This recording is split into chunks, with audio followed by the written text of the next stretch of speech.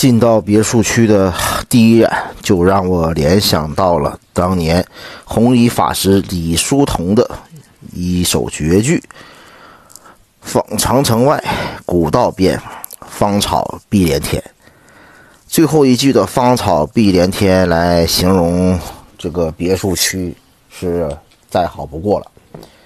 因为呢，这个别墅区的草呢，最高的已经长到了两米多。原来这里可以算得上是东北最大的省会，各个城市的首富聚集地。我们现在看来啊，已经接近于十年的这个重大的别墅区，现在看起来依然是比较辉煌伟岸，衬托着当年这些富豪糜烂的生活。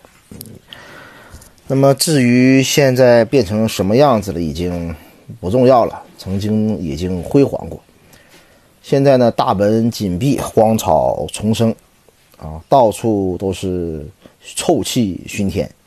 为什么呢？因为周边呢，很多普通家庭的邻居，当年只能是远观而望之，现在呢，近距离接触到这些大别墅之后，把原来一楼的。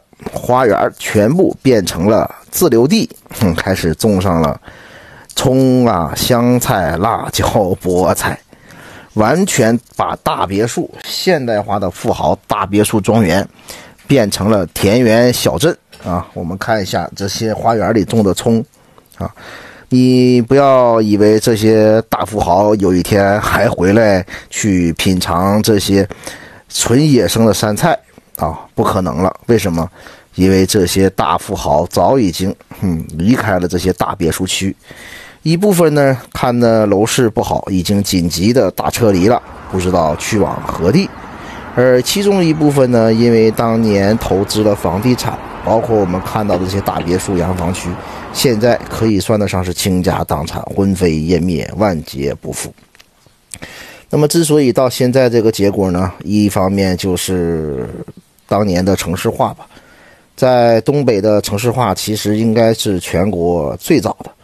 那么这几个别墅园区呢，兴建于大概一二年开始左右，到二零年差不多就结束了。这里呢，当年超多的都是一些嗯会所类的，或者是一些属于个人的会坊吧。嗯，当年这里的辉煌啊，那简直是。不言而喻，无法用语言来形容。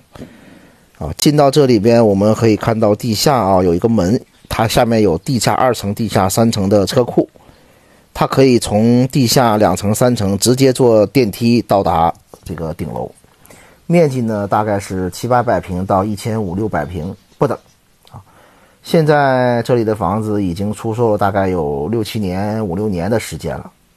啊，但是能卖出去的。那只是凤毛麟角，几乎都没有卖出去。为什么？因为当年呀，很多买这个别墅的人并没有实行过户，啊，这就是大资本家、大富豪，他们并不会长期打算在这里住这个房子。那后期呢，很多麻烦的原因导致这些房子都不能过户。啊，过去这些房子都达到了均价五六万一平，而现在呢，基本上也就是在。过去的四分之一、五分之一的价格，甚至已经破万。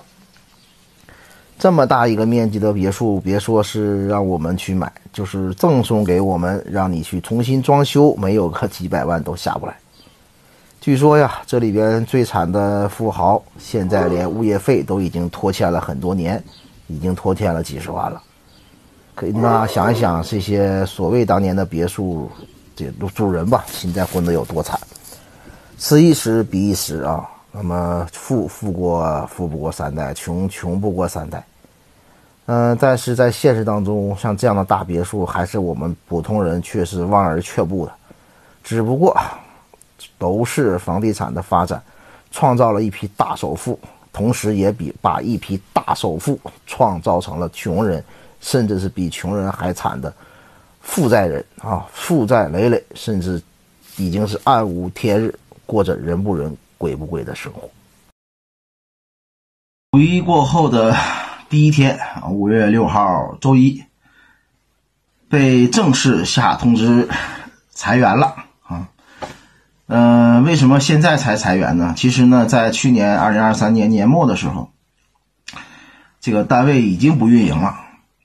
然后那个时候呢，据说我们这个单位占地，这个地呢就被征用了，建成农贸市场了，全市最大的农贸市场。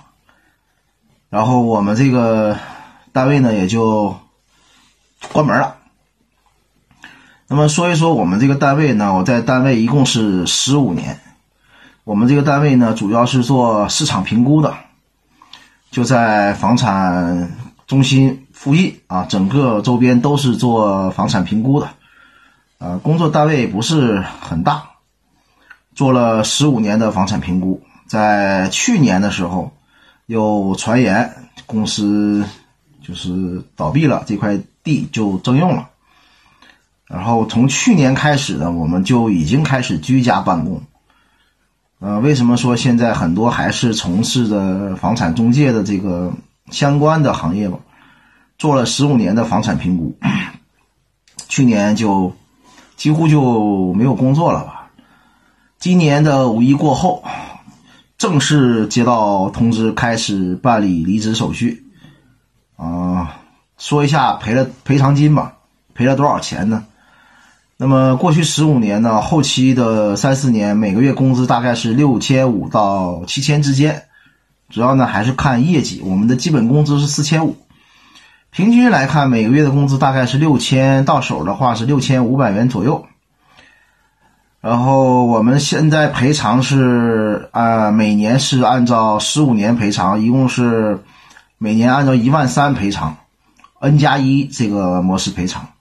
一共是赔了二十七万五千多一点所以说这十五年工作就到此结束了，啊，二十五万七千多一点十五年的，每年说是赔一万三，然后再加上一些补贴啊，还有后期我们在去年的时候，后面有几个月工资都发不出来了，不发了。从此以后呢，我就是一个完全的自由职业者。那么，像我们在四十岁这个年龄被离职的，其实这几年很多很多，包括我的同学，之前是在外企，呃，佳能数码，就是在当地做这个数码组件的，也是属于外企。当时在大学的时候呢，直接就是应聘应聘到过去的。实习了几个月就开始正式入岗了，工资一个月都一万五千多，但是在去年的时候也下岗了。我弟弟是在北京中关村做软件开发的，啊，平均工资都是在三万多。那么也是在去年年底的时候，也是算是留薪停用，但是这个留薪呢，就是每个月一千块钱，你自己回家喜欢做什么就做什么，也没有开除你。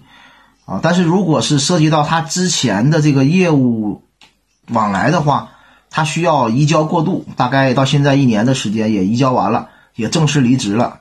现在呢，也是算是啃老吧，在家躺平了。现在像我们这个年龄，四十岁上下的好多好多，在过去本以为找到了铁饭碗，本以为有了稳定的工作，衣食无忧了吧。那么现在也有自己的房子和车子，结果没想到，啊，其实也不是意料之外吧。很多时候呢，在发生这个事情之前就已经有了蛛丝马迹，只不过这个事情是或早或晚。嗯，接下来给自己找一个理由吧，就是居家创业，也就是这么个过程。呃，二十五万七，还点贷款，自己再留点看看接下来再做点什么吧。